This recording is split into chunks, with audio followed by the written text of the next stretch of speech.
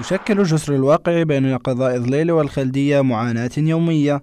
لما يشهده هذا الجسر من خطورة تشققات وانهيار أجزائه المهترئة وضيق مسربه الواحد ذو الاتجاهين فيما يبقى القلق المستمر لمستخدميه من انهياره بأي لحظة. الجسر صار ما يقارب يمكن 30 أو 35 سنة آه، قارب للانتهاء. حتى لو اجى يعني سيل من فوقه ممكن ينهار الجسر لأنه قديم وبناؤه قديم.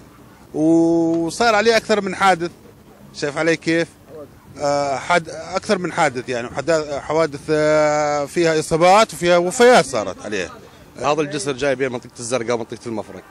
لا الزرقاء معترف فيه ولا المفرق معترف فيه. هذا الجسر أي ممكن تمر تشوف وتصور مربط بسلاك الجسر. وقعنا عليه سيارات. جسر يعني مهدوم كليا.